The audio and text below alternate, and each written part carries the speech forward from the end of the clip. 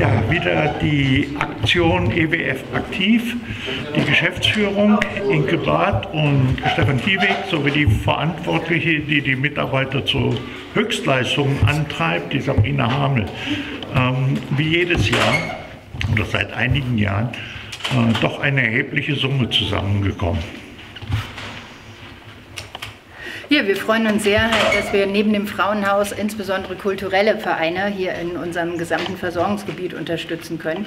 Nicht nur im Landkreis Waldeck-Frankenberg, sondern auch im Schwalm-Eder-Kreis mit der Kulturscheune in Fritzlar.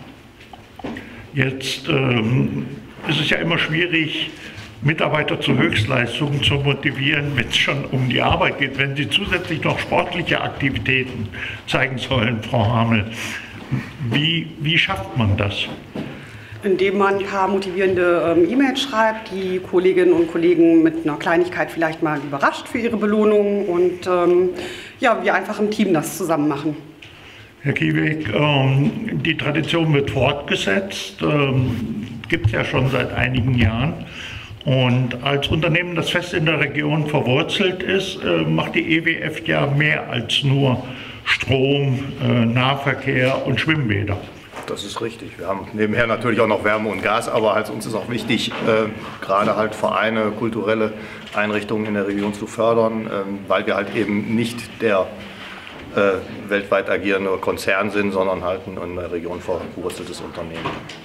Jetzt ist das Jahr fast rum, das heißt, am Januar steigen dann wieder ähm, die Motivations- äh, sag mal, Ansprachen an die Mitarbeiter. Das müssen ja jetzt die Kalorien, die zwischen bis, bis zum 31.12. oder 1.1. aufgelaufen sind, ja auch wieder abgearbeitet werden. Das ist ne? richtig, wobei wir legen da im Regelfall, jetzt gucke ich zu Frau Hamel, im Frühjahr los, weil wir halt äh, in der kalten Jahreszeit dann halt gerade Autoaktivitäten noch nicht äh, so pushen wollen, weil auch das Verletzungsrisiko da Jetzt ist das für einen guten Zweck und das ist toll, aber es ist natürlich auch ähm, gut fürs Unternehmen, denn gesunde Mitarbeiter, die durch Sport und entsprechendes Verhalten sind, ist einfach eine Prävention. Ne?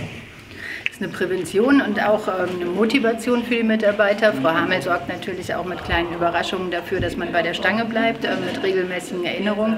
Aber auch tatsächlich, wer sich gesund ähm, bewegt durch, durch ähm, die Freizeit, der kommt auch gesund auf der Arbeit an und bleibt halt als gesunder Mitarbeiter auch aktiv im Unternehmen.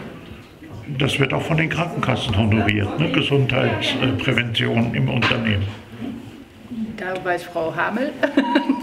Die Krankenkassen machen das parallel. Im Prinzip, wir äh, setzen aber halt dort noch was drauf, dass wir das halt das Unternehmen selbst. Aber Sie bestätigen diese Präventionen und machen das in genau. der Regel. Die Krankenkassen äh, gibt es dann immer Boni für gesundes Verhalten. Oftmals ist es so, dass halt der erste Präventionskurs von der Krankenkasse übernommen wird und wenn der Mitarbeiter dann aber noch, und da ist dann Frau Hame wieder gefordert, die Mitarbeiter zu motivieren, wenn er noch einen weiteren Kurs macht, dann unterstützt den im Regelfall das Unternehmen durch EWF, direkt, äh, EWF aktiv.